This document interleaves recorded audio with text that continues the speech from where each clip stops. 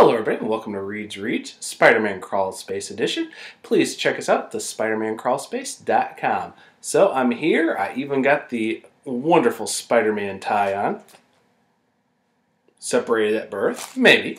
But anyhow, I'm here, of course, to talk about Ultimate Spider-Man number 200, the big anniversary issue. Technically, it's issue 202 if you counted um, Ultimatum Requiem, which was uh, quite a few years ago, but we're not going to go into that story. So let's get into the pros, mind you.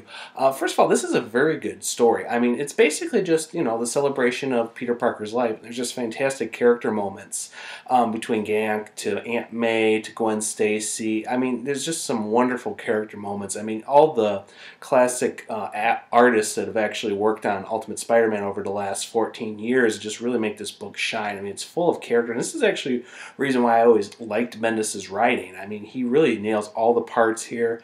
I mean, as I said, the talking heads, but in this case, it actually works really well with stories and everything, and I actually really enjoyed that. I mean, it was a good story. I mean, I just love them remembering Peter Parker and the moments from, you know, Kong showing back up and seeing Kitty Pryde to J. Jonah Jameson just sitting outside but watching from afar, but and Tony Stark, you know, unable to come, so throws a little money on it and everything else to try to make up for everybody there. But it, it's a very powerful story, and it really works good, even for four ninety nine or you know five bucks or five twenty six, depending on what your taxes are and everything else. But it's a great story. I don't really have any many cons. The only con is, of course, the ending.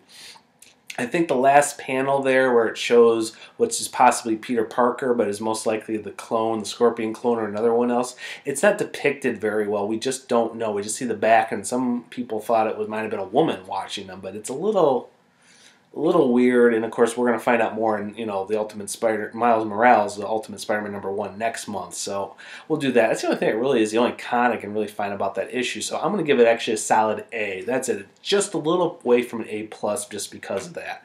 And uh, just before we go, I'm going to actually talk about Ultimate Spider-Man. I mean. I was finishing up my uh, undergraduate in college when Ultimate Spider-Man started in 2000, and I thought it was really an interesting take on the original Spider-Man and where it went to the story and everything else. I mean, all the classics were there, but you know, I do remember, even though I didn't, I didn't really pick up except for the first four issues of the book and everything. But you know, reading it at the bookstore like Borders or the comic shop, and just reading and reading all these you know issues over the next decade and everything else, and I really enjoyed the stories, and I ended up getting the whole collections and the trade paperbacks as time went on and everything else. So I always enjoyed and always had a special place for Ultimate Spider-Man.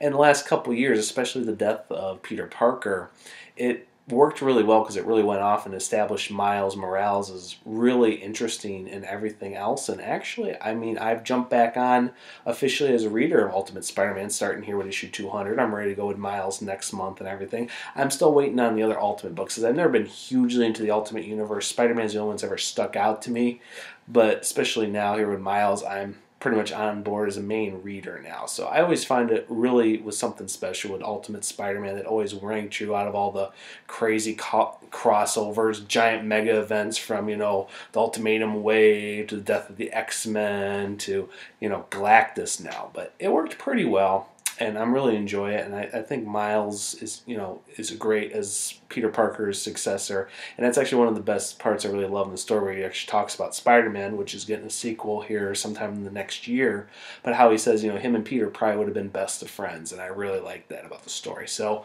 give an, an A here for this. And on that note, everybody, I am out of here. I will see everybody for my review of the final issue of Superior Spider-Man in a couple weeks. I will see you then.